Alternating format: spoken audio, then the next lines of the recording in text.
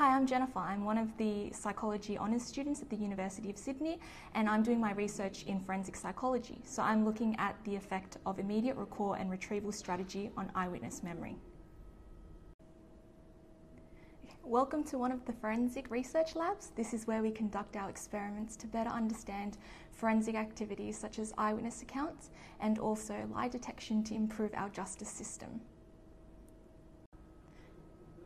Okay, now we're going to head up to one of the testing uh, spaces to see how everything works.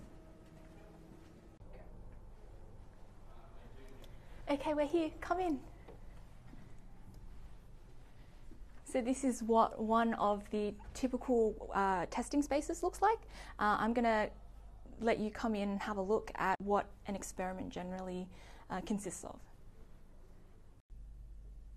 So a typical experiment might involve a student or a participant coming into the lab, sitting in the testing space and watching a stimulus video.